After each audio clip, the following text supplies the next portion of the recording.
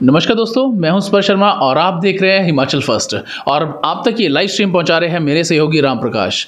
आज जो है, हम अपना एक खास कार्यक्रम आपके लिए लेकर आए हैं, जिसका नाम है तीखे सवाल। और तीखे सवालों का जवाब देने आज हमारे साथ जुड़े हैं चिंतपूर्णी विधानसभा से इंजीनियर रामपाल जी, जो 2022 में जो है आम आदमी पार्टी की टिकट से जो है चुनाव लड़े थे।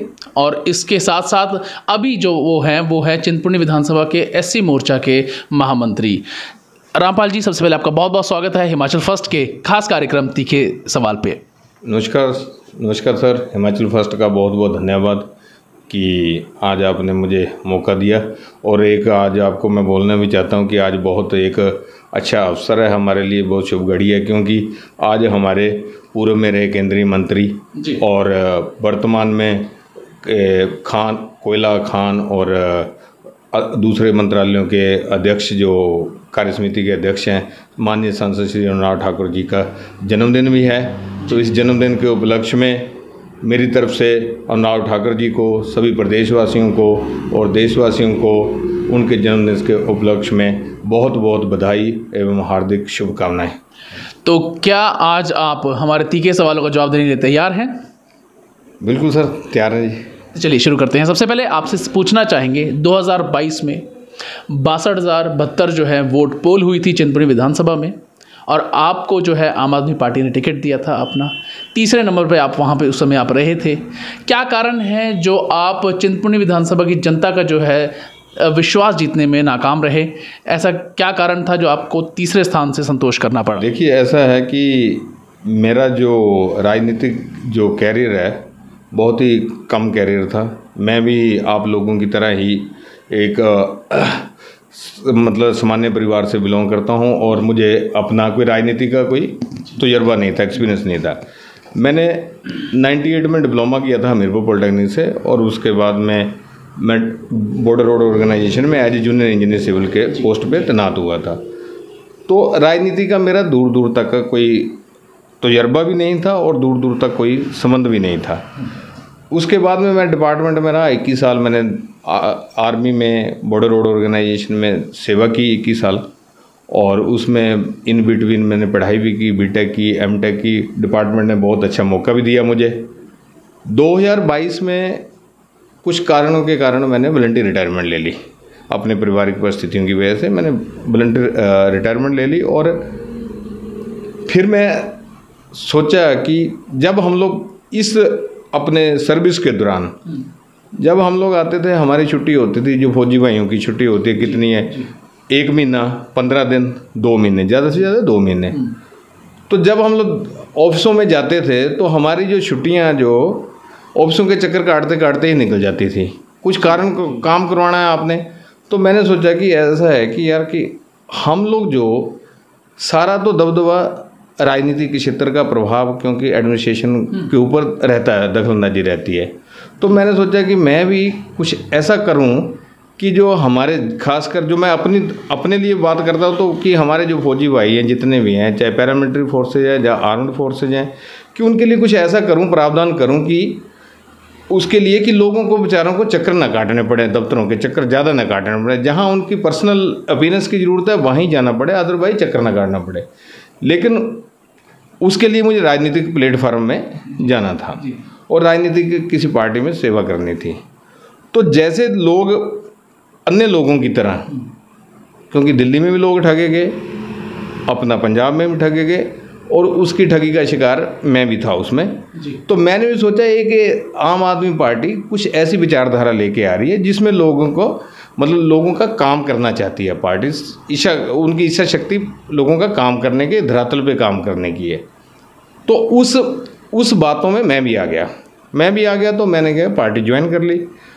अदरवाइज़ मैं 91 से 98 तक संघ का स्वयं सेवक रहा हूँ मैं। स्वयं संघ यहाँ पहले हम लोग अपने स्कूल काल में मैं यहाँ अपना संघ लगवाता था अम्ब में। जी। और उसके बाद पॉलिटेक्निक कॉलेज में। तो मेरी जो विचारधारा थी मैंने सोचा कि हमारी जो विचारधारा है राजनीतिक विचारधारा को लेके नहीं चले थे। हम लोग सोचे कि लोगों की समाज सेवा की विचारधारा को लेकर जो पार्टी काम करते हैं उसके साथ जुड़ते हैं। जी। तो मैं इस आम आदमी पार्टी के साथ में जुड़ गया। आम आदमी पार्टी के साथ में जुड़ गया। तो धीरे धीरे धीरे जब हम लोग पार्टी के साथ में जुड़े पहले पहले तो दूर से सब लोगों को जैसे मैं तो आर्मी में रहा तो मुझे भी लग रहा था क्योंकि सोशल मीडिया पे या प्रिंट मीडिया में सब जगह यही था कि ये पार्टी ऐसी है जो बाकी पार्टियों से थोड़ा अलग एंगल से धरातल पे काम करना चाहती है लोगों के दुख दर्द को समझना चाहती है। तो उस बेस पे हम लोग भी जुड़ गए। जुड़ने के बाद मैंने इलेक्शन भी लड़ा तीसरे स्थान पर भी रहा और ओवरऑल मैं हिमाचल में जो आम आदमी पार्टी के कैंडिडेट है उसमें सतारवें नंबर पर था हिमाचल में। जी, जी। तो लेकिन जब हम लोग पार्टी के अंदर गए तब देखा कि पार्टी की कथनी और करनी में बहुत ज़्यादा अंतर है। और जिस जिस भी राजनीतिक पार्टी का कथनी करनी में अंतर है, उसको वो बहुत ज़्यादा लंबी चलती नहीं है। तो जब मैंने देखा इनकी तो कथनी करने में, ये तो देश की सुरक्षा के साथ खिलवाड़ करने वाले लोग हैं, ये तो लोगों को लड़ाने वाले लोग हैं, ये दिखावा कुछ करते हैं और काम कुछ करते हैं। तो इस वजह से मैंने इलेक्शन के बाद पार्टी में रिजाइन कर दी और पार्टी छोड़ दी। और अब हम, मैं फौजी आदमी हूँ। मुझे फौजी आदमी हूँ तो मुझे लग, मुझे पहले देश की सुरक्षा के साथ में खिलवाड़ करने वाले जो पार्टी है, उसके अगेंस्ट चलना है, चाहे जो मर्ज़ी हो, चाहे कोई मर्ज़ी पार्टी हो। तो अब क्या हुआ कि मुझे लगा जब से मोदी जी आए हैं, देश के प्रधानमंत्री बने हैं तो तब से लेके हम लोग सुरक्षा के ऊपर, अपने देश के, अपना उत्थान के ऊपर जितना कार्य मोदी जी ने किया है। और साथ साथ में मैं ये भी बोलता हूँ, क्योंकि मैं एक एससी कम्युनिटी से बिलोंग करता हूँ। तो एससी कम्युनिटी का जो उत्थान जो किया है जो इन्होंने इनको उठाया है ऐसे लोगों के बारे में सोचा है गरीब आदमियों के बारे में सोचा है तो आज तक किसी भी प्रधानमंत्री ने नहीं सोचा है। केवल दिखाया है किया कुछ नहीं है ग्राउंड में। जो धरातल में मोदी जी ने किया है उसको देखते हुए मैंने इनकी विचारधारा को देखते हुए कि देश के लिए डेवलपमेंट के लिए काम करने वाली पार्टी है देश की सुरक्षा को हर संभव प्रयास करने वाली पार्टी की देश सुरक्षित रहे। देश इनके लिए सर्वोपरि है। तो जिस पार्टी के साथ जिस पार्टी का उद्देश्य देश सर्वोपरि है मैं उसी के साथ जुड़ना चाहता था और मैं फिर बीजेपी के साथ में तो क्या आपको लगता है कि ये सही पार्टी है जो आपके विचारधारा के साथ आ, मेल खाती है इसकी विचारधारा मैं बिल्कुल मैं बहुत संतुष्ट भी हूँ और मैं अपने आप को गौरवान्वित भी महसूस करता हूँ कि मैं ऐसी पार्टी से जुड़ा हूँ।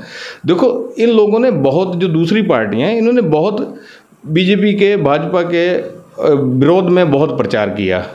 काफ़ी लोगों को प्रचार किया कि नहीं जी, ये पार्टी जो अनुसूचित जाति वालों की नहीं है, ओबीसी वालों की नहीं है, ये तो बड़े लोगों की पार्टी है। लेकिन जब मैं पार्टी के अंदर गया, तब मुझे पता चला कि असली मान सम्मान जो हमारे लोगों को दिया है, हमारी कम्युनिटी के लोगों को दिया है, इस पार्टी ने दिया है। आपको याद होगा कि अपना जब धूमल जी सीएम बने थे तो 68 विधानसभाओं में धूमल जी ने ही अंबेडकर भवन खोले थे। और आज कांग्रेस की हालत देख लो आप उनको देख रेख के लिए भी कोई इनके पास फंड ही नहीं है कोई फंड इन्होंने ओरिजिनेट किया ही नहीं। तो मैं तो सोचता हूँ ये हमारी आ, असली पार्टी तो हमारी बीजेपी है। अब हमारे लिए बाबा साहब भीमराव अंबेडकर जी एक भगवान के समान है। जैसे हम लोग भगवान राम की पूजा करते हैं वैसे बाबा साहब की पूजा करते हैं। तो अब जो मान सम्मान जब तक कांग्रेस पार्टी सत्ता में रही बाबा साहब ज़िंदा रहे इन्होंने उनको बेजती के अलावा कुछ नहीं दिया। लेकिन बीजेपी पार्टी ने अपने जब अटल बिहारी वाजपेयी के नेतृत्व में जब बाबा साहब को भारत रत्न को जो उपाधि दी डॉक्टर भीमराव अंबेडकर को भारत रत्न की उपाधि दी तो बीजेपी के कार्यकाल में दी।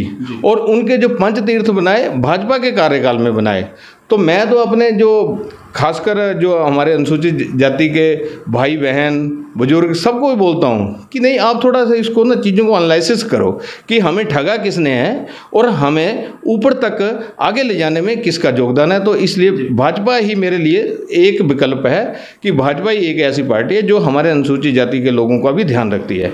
आ, इसके साथ ही मैं पूछना चाहूँगा एक बार फिर से। आपके साथ जो इलेक्शन लड़े भाजपा की तरफ़ से बलबीर सिंह चौधरी जी लड़े जो काफ़ी धुरंधर माने जाते हैं राजनीति के। काफ़ी बार वो इलेक्शन जीते हैं पहले और काफ़ी इलेक्शन लड़े हैं वो। इसके साथ ही आपके साथ पहली बार एक और शख्स इलेक्शन लड़े वो हैं कांग्रेस से सुदर्शन सिंह बबलू। और जिन्होंने जीत भी हासिल की। कैसा एक्सपीरियंस आपका रहा और क्या अब आपको लगता है कि सुदर्शन सिंह बबलू जो जिन पे चिंतपूर्णी जनता ने विश्वास जताया क्या वो उस पर खड़े उतर रहे हैं? हैं अभी तक के कार्यकाल देखो जब हमने इलेक्शन लड़ा था बलवीर चौधरी जी जो हमारे माननीय नेता हैं पच्चीस साल उनने मतलब राजनीति में पच्चीस साल के ऊपर का उनका राजनीतिक कैरियर भी है तो उन्होंने उन्होंने काम के बेस पे इलेक्शन लड़ा। जी। कि हमने काम किए और जो भाजपा के काम कामों की कोई गिनती नहीं है कि जितने काम किए चाहे रोड का देख लो चाहे एजुकेशन के क्षेत्र में देख लो चाहे हॉस्पिटल स्वास्थ्य के क्षेत्र में देख लो तो उन्होंने बहुत काम किए। लेकिन क्या हुआ कि मेन टाइम में कांग्रेस पार्टी ने सुदर्शन बाबू जी को टिकट दे दिया। जी। तो हम और अपने ही नेता का एक जो पुराने अपने मंत्री भी रहे पूर्व में मंत्री भी रहे उनका टिकट मेन टाइम पे काट दिया। तो लोगों ने भी विश्वास जताया। एक्चुअल में लोग विश्वास इसलिए जताया कि लोगों ने सोचा कि इन्होंने बहुत ही अच्छे सुन- सुनियोजित ढंग से बिल्कुल प्लानिंग से एक तैयार किया अपना मैनिफेस्टो तैयार किया। उसमें दस गारंटियाँ दे दी लोगों को जी। कि हर साल हम लोग जो अपना एक लाख नौकरियाँ देंगे उसे जुआ ठगेंगे। पंद्रह सौ रुपया महिलाओं को देंगे उसमें महिलाओं को ठग लिया। और उसमें अपना बागवानों को ठगा कि हम लोग उसका मूल्य तय करेंगे अच्छा मूल्य देंगे। उसके बाद में किसानों को ठग लिया कि और जो दूध वाला काम करने वाले उनको ठग लिया कि हम लोग आपका दूध हम लोग सौ रुपये किलो बेचेंगे। हम लोग आपसे किसानों को बोल दिया हम आप लोग गो- आपसे गोबर खरीदेंगे। तो जो कुल मिला के दस गारंटियाँ और उसमें जो ओपीएस भी है ओपीएस के नाम पे ठगा कुछ डिपार्टमेंटों को ओपीएस दे दिया कुछ डिपार्टमेंट बेचारे जो हमारे भाई जो रिटायर हुए हैं सुपरनेशन हुए हैं वो बेचारे सेवानिवृत्त होने के बाद में वही एनपीएस में चल रहे हैं अभी तक भी। तो कुल मिला के उन्होंने वो लोग जो हमारे जो प्रदेश के जो लोग हैं कुल मिला के इनकी दस गारंटियों वाले ठगी के उसमें आके उन्होंने कांग्रेस को नहीं दिया। उन्होंने सोचा कि हमारा एक ऐसा नेता है उन्हें कुछ चेंज करने की सोची। देखो जब भी आप आ, हमारे यहाँ इलेक्शन होता है तो लोग क्या सोचते हैं कि बदलाव करते हैं। बदलाव की राजनीति है हमारे यहाँ कि एक बार हम लोग बीजेपी को एक बार कांग्रेस को ऐसे थोड़ा थोड़ा ट्रेंड है हिमाचल में। तो लोगों ने सोचा कि हो सकता है कि ये अपना जो नेता नहीं बेटा वाले स्लोगन पे आया तो बेटा बहुत अच्छा करके काम करके दिखाएगा। जी। लेकिन क्या हुआ? उन लोगों ने काम नहीं देखा, दस गारंटियों के चक्कर में आ गए। जो हमारे कर्मचारी थे, वो ओपीएस के चक्कर में आ गए। अब लास्ट में, अब जो धरातल पे जो काम हो रहा है अभी क्या आप देखें आम ग्राउंड में एक बिल्डिंग बन रही है। उसके स्लैब डलने के लिए ऊपर तक दीवारें खड़ी है। मुझे लगता है आने वाली बरसातों में ना गिर भी जाएगी वो दीवारें गिर भी जाएँगी। वो अभी तक हुआ नहीं काम। जहाँ जहाँ इन्होंने जो जो गारंटी एक भी गारंटी नहीं पूरी की। आपको याद होगा शपर जी कि आपने जिस टाइम हमारे अयोध्या में राम राम का मंदिर जो तैयार हुआ था तो यहाँ से एक मैसेज आया था कि हम लोग भी पंजवा से बसें चलाएँगे। जी जी। तो आप देख लो कितनी बसें चली। और अभी जो अपना और जितने भी काम हैं, आप कोई भी एक काम गिनवा दें कांग्रेस भाई हमारे, क्योंकि इसमें कांग्रेस वालों ने ऐसा ना कि भाजपा या कांग्रेस का सवाल नहीं है। कांग्रेस वालों ने सारे लोगों को ठगा है पूरे। उसमें भाजपा वाले भी हैं कांग्रेस वाले भी हैं अपने आप भी कांग्रेस वाले भी हैं लोग। वो भी अपने आप को ठगा हुआ महसूस कर रहे हैं। और उसका रिज़ल्ट जो आप आने वाले इलेक्शन में देखेंगे कि कितना काम किए इन्होंने। काम से जो आपने बताया कि कांग्रेस भाई हमें काम गिनाए उनकी एक बहुत बड़ी उपलब्धि है। पहली बार चिंतपूर्णी विधानसभा में जो है चिंतपूर्णी महोत्सव माँ चिंतपूर्णी के नाम से एक महोत्सव किया गया। उस महोत्सव को लेकर चिंतपूर्णी विधानसभा में काफ़ी जो राजनीति भी गरमाई आपने देखा होगा हर तरफ़ जो था उसको लेकर चर्चाएँ थी। और इसके साथ साथ आपने ये भी देखा होगा कि व्यापार मंडल ने भी जो है इसको लेकर रोष रैली निकाली जिसमें आप भी शामिल थे हमने हमने आपको भी इसमें देखा था। इसके साथ नेता जो पूर्व हमारे चिंतपूर्णी विधानसभा के विधायक हैं उन्होंने भी भ्रष्टाचार के सीधे सीधे आरोप जो हैं कांग्रेस गवर्नमेंट पे और कांग्रेस विधायक पे लगाए। इसके ऊपर आपका क्या कहना है? और चिंतपूर्णी महोत्सव को आप किस प्रकार देखते देखो, चिंतपूर्णी महोत्सव अम्ब में होना एक बहुत ही गर्व का विषय है और महामाई चिंतपूर्णी का आशीर्वाद हमारे सभी प्रदेशवासियों के लिए चिंतपूर्णी वासियों के लिए है। लेकिन हम लोग पहले हमारा विरोध था, जो हम, मैं भी व्यापारी भाइयों के साथ में था, हमारा विरोध ये था कि जो यहाँ चिंतपूर्णी महोत्सव के दौरान जो दुकानें लग रही हैं, क्योंकि एक महीने का टेंडर किसी बाहर वाले आदमी को दे दिया गया। और हमारा विरोध था, जब हमारे व्यापारियों भाइयों का विरोध था कि जो एक महीने के लिए, क्योंकि कारण क्या है कि हमारे यहाँ अलग अलग तरीके की कल्चर है तो काफ़ी टाइम से पहले बरसातों का सीज़न था, फिर कुछ और आगे श्राद्ध आगे तो ऐसे करके तो लोगों का काम ठप पड़ा था। व्यापारी छः सात महीने से मतलब काम ही नहीं रहता। तो नवरात्रों के सीज़न में जैसे ही हमारा लोग, व्यापारी लोग सोचते हैं कि हमारा काम होगा और हमारा काम चलेगा अच्छा। लोग अपना सामान भी कईयों की बहुत ज़्यादा लाइबिलिटी हैं। तो चिंतपूर्णी महोत्सव जब होना शुरू हुआ तो महामाई चिंतपूर्णी जी की ज्योति लेके यहाँ आए अम्ब में। आप लोगों को पूर्ण पूर्णतः मालूम भी है। लेकिन चिंतपूर्णी महोत्सव के पहले दिन ही किस तरह के गाने गाए गए? किस तरह के डांस हुए, आपने भी देखा है। चिंतपूर्णी महोत्सव से हमें कोई परेशानी नहीं है। चिंतपूर्णी महोत्सव का मतलब महामाई चिंतपूर्णी का गुणगान करना है। लेकिन एक भी महामाई चिंतपूर्णी का गुणगान तो क्या करना? उनका कोई अपना उनके कोई भेंट तो क्या महामाई चिंतपूर्णी का गुनगुनानी है? कोई महामाई चिंतपूर्णी का नारा तो क्या लगाना है इन्होंने? उनका नाम भी नहीं लिया और जो ज्योति लगाई थी बिल्कुल साइड में एक जगह ज्योति लगा दी अपने आप ऊपर वाले वाले स्टेज में बैठे हैं और ज्योति का जो स्थान है वो नीचे है। तो उसमें हम हमारा विरोध है। उसमें विरोध है और विरोध रहेगा। दूसरा क्या है कि जब हमारे व्यापारी भाइयों ने विरोध किया जी जी। तो लोग गए कई ने मेरे ऊपर भी कमेंट्स किए आपने सोशल मीडिया पे भी देखा होगा जी। कि इनका कौन सा शॉपिंग मॉल है जी यहाँ जो। ख़राब हो रहा है। तो और दूसरा ये भी किया कि हम लोग नेतागिरी चमका रहे। तो यदि मैं तो ये बोलना चाहता हूँ कि यदि अपने के क्षेत्र के लोगों के साथ खड़े होना और उनके साथ चलना उनके हकों की लड़ाई लड़ना यदि आप उसको नेतागिरी मानते हैं जब उसमें राजनीतिक चमकाना बोलते हैं तो हम लोग करेंगे वो काम। क्योंकि गलत को गलत बोलना यदि हम लोग अभी गलत नहीं बोलेंगे तो हमारे आने वाली पीढ़ी भी हमारे से कुछ नहीं सीख पाएगी। जी जी जी। तो इसलिए चिंतपूर्णी महोत्सव होना चाहिए। जी। मैं वो ये बोलता हूँ चिंतपूर्णी महोत्सव अच्छी बात है लेकिन क्या है कि अब देखिए उसमें बाहर से कलाकार लाए गए। जी। हमारा जो हमारी जो सरकार है जो वर्तमान में सरकार है यही रोना रोती आई कि हमारे पास पैसा नहीं है पैसा नहीं है फंड नहीं है। जी। और यहाँ से पंजाब के जो आके गायक हमारा पैसा पैंतीस पैंतीस मिनट का चालीस चालीस लाख रुपया लेके जा रहे हैं। यदि वो पैसा हमारे किसी लोकल जो गायक है लोकल जो गा, गायक है उसको दिया होता तो हमारे लोकल आदमी को फ़ायदा होता। जी जी। और महामाई चिंतपूर्णी के नाम से तो कोई एक दिन भी प्रोग्राम नहीं हुआ। जी। ना हमारे किसी लोकल गायक को दिया तो इसमें राजनीतिक नहीं बोल सकते तो लोगों की आवाज़ उठाना बोलते हैं, इसको राजनीतिक नहीं बोलते। तो मैं ये बोलता हूँ कि यदि कार्यक्रम, चिंतपूर्णी महोत्सव, ऐसे ही रहा, जो इन्होंने इस बार जो उसकी कार्यशैली अपनाई है तो उसका विरोध हमेशा रहेगा।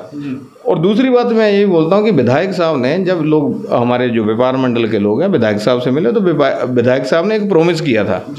कि अब की बार चिंतपूर्णी का जो मेला लग गया दोबारा नहीं लगेगा। शायद आपको भी याद होगा। लेकिन क्या है अगले ही दिन यहाँ जब प्रोग्राम हुआ तो माननीय उप मुख्यमंत्री जी ने ये घोषणा कर दी कि ये प्रोग्राम अभी कंटिन्यू चलता रहेगा हर साल प्रदेश स्तर पर चलता रहेगा। अच्छी बात है प्रदेश स्तर पर चले।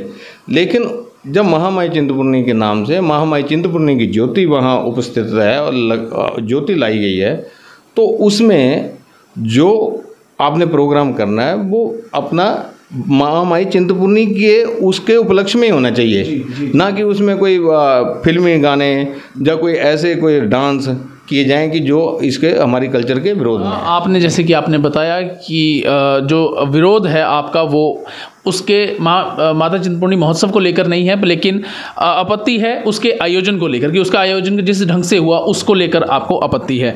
साथ ही मैं पूछना चाहूँगा अगर आपने बहुत सारे आरोप जो है स्थानीय कांग्रेस पर लगाए हैं और काफ़ी गंभीर आरोप हैं तो क्या आप उनके साथ अगर उनकी तरफ़ से कोई आता है तो उसके साथ बहस करने के लिए मैं तो बोलता हूँ कि आप ऐसा करिए उनको एक मंच पे लाइए। जी। तो हम लोग पूछेंगे देखो हुआ क्या? कि आपने भी देखा होगा जब चिंतपूर्णी मा- महामाई महोत्सव का शुरुआत की गई तो हर विभाग द्वारा एक लकी कूपन ड्रा पर्ची काटी गई। जी। मेरी भी काटी हुई है मेरी जेब में भी है ठीक है? तो मेरी भी काटी हुई है। अब उस लकी ड्रा का क्या हुआ? वो किसको निकला? जी। उस लकी ड्रा से गौर कितना रेवेन्यू जनरेट हुआ? देखो जो माननीय पूरे विधायक साहब ने जो आरोप लगाए हैं भ्रष्टाचार के वो इसलिए सही माने जाते हैं कि इन्होंने उसके विषय में कोई अपनी तरफ़ से कोई तर्क दिया ही नहीं। इनके पास कोई फैक्चुअल पेपर हैं कुछ दिखाएँ कि हमारे पास देखो ऐसा है जब आपका अपना प्रोग्राम होता है तब आपको सफ़ाई देने की ज़रूरत नहीं है। जब ये साझा प्रोग्राम है पूरे कार्यक्षेत्र के लोगों का प्रोग्राम है तब आपको सफ़ाई देने की ज़रूरत है और सफ़ाई देनी पड़ेगी। अदरवाइज़ आपको ये भी मानना पड़ेगा कि आपने भ्रष्टाचार किया है। कारण क्या है कि आपने हर विभाग से पर्चियाँ काटी लकी ड्रा वाले कूपन निकाले मतलब पर्चियाँ काटी सबसे पैसे लिए। दुकानदारों से भी लिए हमारे जैसे लोगों के लिए जो बंटवार खाने में गया उससे भी लिए जो। किसी और विभाग में गया उससे भी लिए पर्चियाँ काटी गई। तो कितनी पर्चियाँ काटी गई कितना जो चिंतपूर्णी ट्रस्ट का जो पैसा इसमें लगाया गया और कितने की पर्चियाँ काटी गई कितना आपका एक्सपेंडिचर हुआ कितना आपके पास पैसा बचा किस आपने गायक को या कलाकार को कितने पैसे दिए वो तो आपको एक एक तरह का श्वेत पत्र देना पड़ेगा। नहीं तो मान मान के चलिए यदि आप कीप हैं कीप क्वाइट हैं चुप हैं उस मुद्दे पे तो इसका मतलब आपने भ्रष्टाचार किया है। और मैं माननीय पूरे विधायक साहब के साथ खड़ा हूँ कि उन्होंने सही बोला कि इन्होंने भ्रष्टाचार किया है। यदि नहीं किया होता तो माननीय जो अभी वर्तमान में विधायक हैं बोलें कि देखो हमने जो अपना हमने इतने पैसे आए थे इतना खर्च किया। ये लोगों का पैसा है ना ये कांग्रेस का पैसा नहीं है। ये हमारे क्षेत्रीय लोगों का पैसा है चिंतपूर्णी लोगों का पैसा है। तो इसलिए मैं अपना इस विषय के लिए अपना माननीय पूरे विधायक साहब के साथ खड़ा भी हूँ। अदरवाइज़ अपना कांग्रेस के कोई भी अधिकारी पदाधिकारी बोल रहे हैं कि बताएँ लोगों को कि हमने आपका पैसा इतना पैसा आया था क्योंकि चिंतपूर्णी ट्रस्ट के अंदर जो पैसा है वो भी किसी पार्टी का नहीं है। वो ना भाजपा है ना करना कांग्रेस का। वो चिंतपूर्णी महामाई के मंदिर में जो लोगों द्वारा दिया गया दान है उसका पैसा है। तो उस पैसे का हिसाब किताब तो देना ही पड़ेगा ना। अदरवाइज़ तो हम लोग मान के चलते हैं कि आपने भ्रष्टाचार किया आ, इसके साथ ही मैं आपसे पूछना चाहूँगा देखिए आरोप लगाना आ, बोलते बहुत ही आसान काम है लेकिन अगर आपको जो है आ, मौका दिया जाए और अगर आपको भाजपा की तरफ़ से अगली बार अगले विधानसभा इलेक्शन में मौका मिले तो कौन से ऐसे पाँच काम है या छः काम है जो आप सबसे पहले आप प्राथमिकता के तौर पर करेंगे?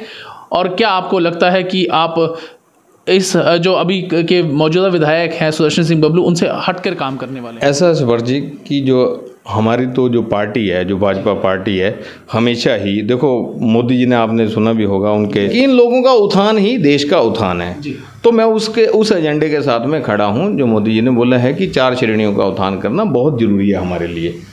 तो लेकिन उसके साथ साथ में हमारे जो लोकल जैसे आपने देखा होगा कि जब भी हमारे मेले लगते हैं चिंतपूर्णी के मेले लगते हैं जब बाबा बड़भाग सिंह का मेला भी लगता है। अपने यहाँ अभी चिंतपूर्णी महोत्सव भी हुआ है। मेला लग जाता है। मेला बहुत धूमधाम से होता है। सारी तैयारियाँ भी धूमधाम से होती हैं। लेकिन उसके बाद में तैयारी होने के बाद में जब सारा काम हो गया मेला पूरी तरह कंप्लीट हो गया सारे लोग अपने अपने चले गए उसके बाद में जो स्थानीय लोगों को जी। उस जो वहाँ गंदगी या उसके लिए जो बहुत तरह का पोल्यूशन बहुत तरह का जैसे प्लास्टिक पड़ी रहती है कुछ पड़ी रहती है तो उसके लिए एक हर मेले के लिए क्योंकि ये तो लगने ही है हर साल लगने हैं ये हमारे त्यौहार हैं पवित्र त्यौहार हैं इनको लगाना हमारी ज़िम्मेदारी भी है। लेकिन उसके साथ साथ में इसकी साफ़ सफ़ाई के लिए एक रूपरेखा अभी तक कहीं तैयार नहीं हुई है यदि तैयार हुई है तो मुझे दिखती दिखी नहीं है। क्योंकि बीच में पहले भी ये पॉइंट भी उठा था कि अपना जहाँ अब ग्राउंड में सफ़ाई नहीं हुई स्कूल का ग्राउंड था। अब एक चीज़ में और ऐड करना चाहता हूँ मैं आपको कि जब हमारे चिंतपूर्णी महोत्सव हुआ, जो स्थान इन्होंने चिन्हित किया कि इस स्थान में चिंतपूर्णी महोत्सव, उसमें लोगों को बहुत ज़्यादा, युवाओं को बहुत परेशानी हुई। जो हमारे युवा है, वहाँ आपने सुबह सुबह देखा होगा, कम से कम कोई 300 के आसपास में बच्चे जो प्रैक्टिस करते हैं। जी। और एक महीना उनकी प्रैक्टिस बाधित रही। किसी की भर्ती थी किसी का कोई फिजिकली टेस्ट था किसी उसमें भर्ती में कहीं तो सारे किसी ने उनके बारे में सोचा ही नहीं सिर्फ़ अपने मनोरंजन के बारे में सोचा और अपने मनोरंजन को देखते हुए उनका भी। तो हम लोग यदि ऐसा होता है तो ऐसा स्थान चिन्हित किया जाएगा कि लोगों को स्थानीय लोगों को जो मैंने पहले बताई एक तो गंदगी की परेशानी ना झेलना पड़े दूसरा जो लोग बच्चे हमारे प्रैक्टिस करते हैं वो उस प्रैक्टिस के ऊपर असर ना पड़े। ये तो रही इस प्रोग्राम के जो हमारे जो आ, इसके रिलेटेड है। और दूसरी बात ये है कि मैं अपना एक बोलता हूँ कि हमारे लोग हमारे जो इंडस्ट्रियल सेक्टर है आज की डेट में अंब में है थोड़ा बहुत। जी। देखा होगा तो बाकी गगरेट में है। जी। तो मेरा ये प्रायोरिटी रहेगी कि जो हमारा इंडस्ट्रियल सेक्टर है वो थोड़ा ऐसे एरिया में डेवलप हो। देखिए जैसे मान लो अभी हमारी कंस्टिट्यूंसी है लास्ट तैयार है हमारा। जी। इस तरफ़ में घंगरे कंग्रेट है इस तरफ़ में दुसाड़ा है।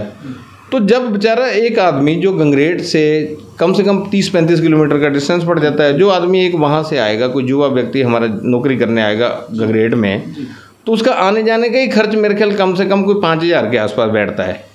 ठीक है? तो हम हमारी ये प्रायोरिटी रहेगी कि युवाओं को रोज़गार के लिए जहाँ जहाँ चाहे छोटे उद्यम लगाए जाएँ छोटे उद्योग लगाए जाएँ चाहे बड़े उद्योग लगाए जाएँ ऐसे सेक्टर में लगाए जाएँ जहाँ अभी तक नहीं लगे हैं।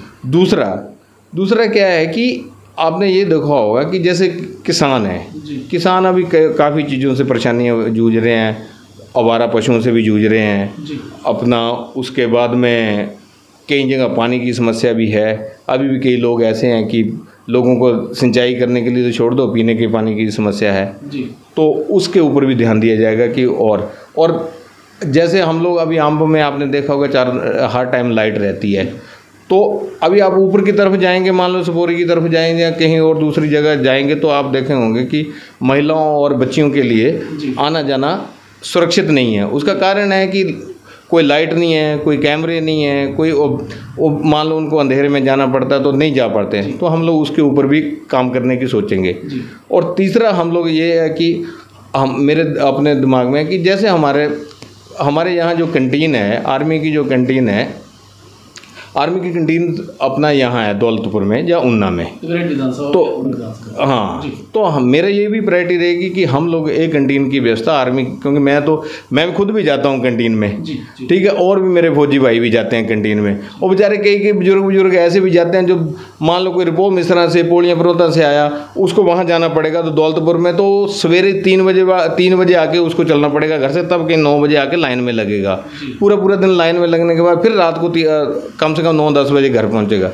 तो मेरी ये प्रायोरिटी रहेगी कि हम लोग को जो आर्मी की कैंटीन जो E C H S dispensary का इसमें हमारे चिंतपूर्णी कॉन्स्टिट्यूंसी में भी हो। और जो हमारे जो अपना एक हमारे क्योंकि इसमें दो तरह के विभाग है एक ई सी एच एस एक सी जी एच एस जो पैरामिलिट्री फोर्सेज है उनके लिए सी जी एच एस है। तो सी जी एच एस की हमने पहले भी अनुराग ठाकर जी से निवेदन किया था और अब भी निवेदन करेंगे। उनके पास उन्होंने हमें आश्वासन भी दिया है कि इस बार के टर्नओवर में वो सी जी एच एस की डिस्पेंसरी जहाँ नियर बाई लोकल में करेंगे तो हम उसके लिए भी अपनी लड़ाई लड़ेंगे। तो ये हमारी कुछ प्रायोरिटी है। बाकी जो पार्टी के निर्देश होंगे उनको तो उनका तो पालन करना ही है। इसके साथ ही आ, आपने देखा होगा हमारे यहाँ पे अम्ब में भी जो है सिविल हॉस्पिटल है साथ ही चिंतपूर्णी में भी हॉस्पिटल है। पर स्वास्थ्य को लेकर जो है समय समय पर किसी न किसी द्वारा जो है आवाज़ उठाई जाती है स्वास्थ्य सेवाओं को लेकर। आपका इस पर क्या कहना है? साथ ही अल्ट्रासाउंड जो है का जो सुविधा है वो जनता के लिए उपलब्ध करवाई गई थी पर लेकिन वो हार्डली कुछ ही समय चल पाई उसके बाद वो फिर से बंद हो गई। इस पर आपका क्या कहना है? और आपको क्या लगता है स्वास्थ्य सुविधाओं को लेकर क्या जो है यहाँ पर सुधार होने चाहिए। देखो स्वास्थ्य सुविधाओं की तो देखो भाजपा की प्रायोरिटी रही है और आपने देखा होगा कि मोदी जी के उससे मतलब प्रयासों से आयुष्मान कार्ड शुरू हुआ। आयुष्मान कार्ड शुरू हुआ और सबको स्वास्थ्य सुविधा दी गई। हिम केयर का शुरू हुआ। हमारे अपने जयराम ठाकुर जी के प्रयासों से हुआ। तो जो हिम केयर तो आपने देखा होगा क्योंकि ये हमारी प्रदेश की सरकार है जो उसका भुगतान नहीं कर पाई तो इसलिए हिम केयर कार्ड तो मैक्सिमम हॉस्पिटल वालों ने बंद कर दिया। और रही अम्ब अम्ब हॉस्पिटल की बात करते हैं तो हम अम्ब हॉस्पिटल में हार्डली मेरे ख्याल हमारे आ, जो वर्तमान में विधायक हैं उन्होंने इसका अल्ट्रासाउंड मशीन का जो आपने ज़िक्र किया है उसका उद्घाटन किया। बड़े ज़ोरों शोरों से उद्घाटन किया कि देखो जी हम लोग अल्ट्रासाउंड मशीन लेके आ गए। और अल्ट्रासाउंड मशीन भी ली बहुत लोगों की बहुत काफ़ी लंबे से डिमांड थी कि अल्ट्रासाउंड की मशीन होनी चाहिए। लेकिन चली कितने दिन? पंद्रह दिन। पंद्रह दिन से या बीस दिन। और अब क्या है जैसे मान लो हॉस्पिटल के अंदर कौन सी दवाई है? कौन सी दवाई बाहर से लानी है? अभी तो मैक्सिमम लोग बेचारे बाहर से दवाई ले रहे हैं। आपने भी देखा होगा। तो स्वास्थ्य सुविधा की ज़रूरत है। और आपने तो खुद भी देखा होगा जब हमारे विधायक साहब बीमार हो गए थे उनको भी होशियारपुर जाके लेनी पड़ी थी दवाई। यदि स्वास्थ्य सुविधा इतनी अच्छी होती तो यही ना एडमिट हो जाते यही ना अपना इलाज करवा लेते। तो स्वास्थ्य उनको विश्वास ही नहीं था कि यहाँ स्वास्थ्य सुविधा अच्छी है। क्योंकि उनको अपने कार्य पर विश्वास नहीं है कि यहाँ क्योंकि यदि स्वास्थ्य सुविधा यहाँ अच्छी होती तो होशियारपुर और जलंधर जाने की ज़रूरत नहीं पड़ती हाँ, इसके साथ ही आपने बहुत ही बेबाकी से सवालों का जवाब दिया लेकिन इस आपकी बातों से कहीं ना कहीं लग रहा है कि आपके मन में भी जो है कहीं टिकट का कहीं है कुछ विचार कुछ चल रहा है क्या? ऐसा कुछ। भाजपा में? ऐसा है ना कि जो टिकट वाली बात है जी। यहाँ जो जो भारतीय जनता पार्टी है जी। बहुत बड़ी पार्टी है बहुत लोगों ने इसको बनाने में कुर्बानियाँ दी और कई इसके लिए परेशानियाँ भी झेली तो बहुत लंबे से पार्टी हमारे पूज- पूर्वज जो भारतीय जनता पार्टी में रहे उनने बहुत इसका पार्टी का उठान भारतीय जनता पार्टी में जी। जो टिकट देने का प्रावधान है आपको एक परिवार नहीं तय करता। ठीक है भारतीय जनता पार्टी में टिकट इस बेस पे दी जाती है कि कौन सा कार्यकर्ता यहाँ काम कर रहा है ग्राउंड पे कौन सा कार्यकर्ता काम कर रहा है लोग भी देखते हैं पार्टी भी देखती है कि किस कार्यकर्ता की इंटेंशन क्या है। इसकी काम करने की इंटेंशन है या अपना कर्जा कुर्जा उतारने की इंटेंशन है। क्योंकि पार्टी ऐसे नेताओं को ऐसे लोगों को टिकट नहीं देती जिन्होंने जो धरातल पे काम नहीं करते। तो इसलिए भारतीय जनता पार्टी में यहाँ जो बनता कार्यकर्ता ही नेता है यहाँ। कार्यकर्ता ही टिकटार्थी है और कार्यकर्ता में से ही टिकट दी जाती है। तो अपना मैं ये नहीं बोलूँगा कि मैं टिकटार्थी हूँ या टिकट का चाहवान हूँ। ये तो पार्टी तय करेगी। जी। पार्टी देखेगी किसने कितना काम किया किसको योग्य समझती है कौन आगे किसका विजन क्या है। उस उस बेस पे पार्टी टिकट देती है यहाँ टिकट देना और टिकट लेना दोनों ही काफ़ी मुश्किल कार्य है। और इस पार्टी की जो कार्यशैली है पार्टी के क्योंकि पार्टी की इमेज ऐसी है कि इस पे उतरना आपको बहुत अ, मतलब बहुत मेहनत करनी पड़ती है ग्राउंड में। और आपने देख लिया होगा अभी तो हम लोग अभी हमारा जो सदस्यता अभियान शुरू हुआ था तो सदस्यता अभियान में मैं भी गया था। पहले विकसित भारत संकल्प यात्रा में भी था मैं। अभी सदस्यता अभियान में भी हम लोग तकरीबन सारी कॉन्स्टिट्यूंसी में घूमे हैं। तो मैं स्पर्श जी आपको ये बताने के लिए मतलब बताना चाह रहा था सदस्यता अभियान के ऊपर मैं इसलिए बोला। कि हमारे जो भाजपा के लोग हैं जिनकी भाजपा के साथ में आइडियोलॉजी जुड़ी है वो तो हमारे सदस्य बन ही रहे हैं। जी। लेकिन उसके साथ साथ में उससे ज़्यादा तो कांग्रेस के लोग सदस्यता ग्रहण कर रहे हैं। जी। कारण क्या है कि लोग परेशान हो गए इनसे। हम्म, इन्होंने झूठियाँ गारंटी दे के झूठे प्रलोभन दे के लोगों को गुमराह किया और सत्ता में आ गए। और अब बोल रहे हैं अपना जो मनोरंजन करने के लिए तो इनके पास पैसे हैं लेकिन लोगों को लोगों के काम करने के लिए ना स्वास्थ्य सुविधा देने के लिए या और किसी कार्य क्षेत्र में काम करने के लिए पैसे नहीं हैं। अभी नई टेक्नोलॉजी शुरू की है मैं काफ़ी टाइम से देख रहा हूँ। आपने भी देखा होगा कई जगह गड्ढे कैसे भरे जा रहे हैं। इन्होंने तो इंजीनियर भी फेल कर दिए। इन्होंने गड्ढे भर रहे हैं मिट्टी से। मिट्टी से जो पेव्ड रोड है उसके गड्ढे भर रहे हैं। हमारे इंजीनियर भाई भी बेचारे इनकी बातों में आ गए कि यार मिट्टी से गड्ढे कौन से कौन सी टेक्नोलॉजी है? पेव्ड रोड को पेव्ड रोड से ही पैचिंग की जाती है। और अब क्या करें? इनकी सरकार है सत्ता है। सत्ता का नशा भी रहता है तो जो मर्ज़ी में आता है वही किया जाता है। उसमें टेक्नोलॉजी या उसकी कोई ज़रूरत पड़ती नहीं है। जी। तो बिना क्योंकि सत्ता का नशा तो कोई टेक्नोलॉजी नहीं देखता। तो इसलिए थोड़ा सा दुख भी होता है कि हमारा पैसा भी देश का पैसा भी बर्बाद हो रहा है। लोग गाड़ियों वाले टैक्स भी भरते हैं। जी। और फिर नुकसान भी उन्हीं की गाड़ियों का होता है। वो तो अपना टैक्स दे ही रहे हैं। वो अपने टैक्स में थोड़ी बहुत टैक्स जब गाड़ी लेते हैं तभी कट जाता है आपका। जब आपकी रजिस्ट्रेशन होती है तभी कट जाता है। लेकिन रोड की परिस्थितियाँ देख लीजिए हॉस्पिटलों की परिस्थितियाँ देख लीजिए स्कूलों की परिस्थितियाँ देख लीजिए तो बड़ी बुरी हालत है। जी। आ, इसके साथ ही आपसे पूछना चाहेंगे अगर भारतीय जनता पार्टी आप में ना विश्वास दिखाकर किसी और में विश्वास दिखाती है और उसको अगले विधानसभा के चुनावों की टिकट देती है तो आपका क्या योगदान रहेगा? क्या आप उनको समर्थन उसी हिसाब से करेंगे जैसे अभी आप पार्टी के लिए काम कर रहे हैं? बिल्कुल मैं बोलता हूँ मैं पहला आदमी होना है कि आप तो मैं अ, पहला आदमी हूँ मैं और पहला आदमी हूँ उस टाइम में मेरा प्रेजेंस होगी। जिस मर्ज़ी को दे टिकट हम लोग तो पार्टी के साथ हैं। हम लोग मैं अपने व्यक्ति विशेष के लिए नहीं हूँ। मैं तो पहले जब आम आदमी पार्टी में आए थे हम लोग तब भी हमने लोगों को बोला था कि भाई टिकट तो एक आदमी को मिलना है बाकी साथ मिल चलना है। और इसी विचारधारा को लेके ही लोग काम कर रहे हैं और पार्टी में सब जगह बिल्कुल अच्छा मेल जोल है। सारे लोग एक दूसरे के साथ में कार्य कर रहे हैं और जिसको भी टिकट मिलेगी, सारे उसके साथ चलेंगे और मैं तो ये बोलता हूँ, मैं बहुत मेहनती आदमी हूँ दौड़ धूप करने वाला आदमी। यदि पार्टी का जो, जिसको टिकट मिलेगी, वो दो दिन लगाएगा पार्टी के लिए, अपने टिकट के लिए तो मैं उसके लिए चार दिन लगाऊँगा, ये मेरा पक्का वायदा है आपसे।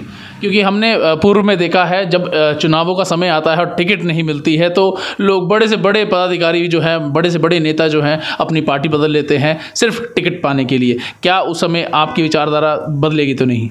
नहीं, देखिए, मैं ऐसा हूँ कि मैं तो एक तो फौजी आदमी हूँ, हम लोगों को थोड़ा सा ज़्यादा राजनीति एक तो मुझे तो तजर्बा भी नहीं है और राजनीति हम लोग कुछ यहाँ कुछ अर्निंग के लिए नहीं आए राजनीति करने के लिए। हम लोग तो लोगों का सेवा करने के लिए लोगों का काम करने के लिए आए हैं। तो मैंने तो आपको हंड्रेड परसेंट इंश्योर करता हूँ दूसरों का मुझे पता नहीं है।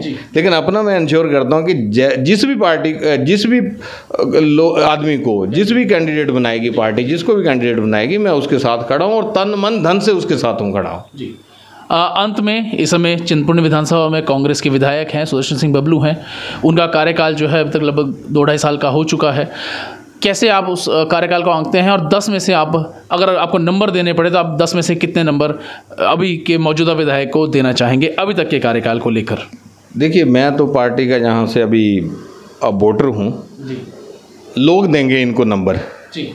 लोगों ने आधे तो कुछ तो दे ही दिए लोगों का आप अपना लोगों के बीच में जा रहे हैं। तो हमारे जो जो देवतुल्य जनता है, वो देगी इनको नंबर। मैं तो अकेला सिंगल आदमी हूँ। और यदि मैं अपनी तरफ़ से नंबर दूँगा तो मैं इनको तो ये बोलूँगा, नंबर तो मेरी तरफ़ से कोई नहीं मिलेगा। इनको ज़ीरो नंबर मिलेगा मेरी तरफ़ से।